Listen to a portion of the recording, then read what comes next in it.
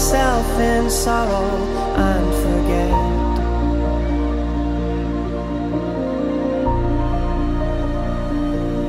How the sky has been much bluer and my life just so much sweeter since we met.